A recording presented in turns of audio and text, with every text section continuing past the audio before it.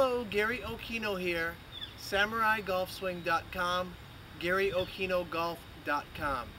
As many of you know, I'm on a mission to stop bad information.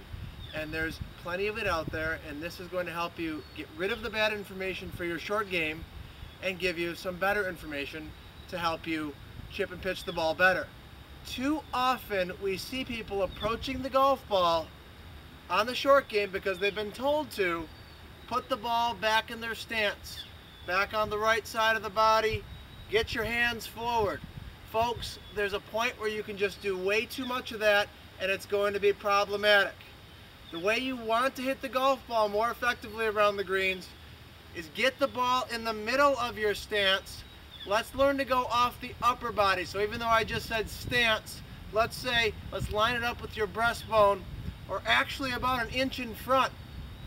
That is going to help you utilize the bounce of the club better.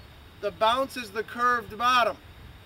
If we put the ball too far back and the hands too forward, we wind up digging too much and then we start scooping and having problems. So let's get that golf ball middle, maybe a little in front of middle, put your weight forward on your left, and that's going to let you use the bounce of the club more effectively. That's going to help you with your chipping and your pitching, get you a lot more consistent. The bounce is an insurance policy. It helps you miss by a quarter of an inch or just a little bit. So one more time, let's get that ball just on center or a little forward of center. Put the weight left and then let the club swing and you're going to have a lot more consistent contact because you have that insurance policy. Thank you.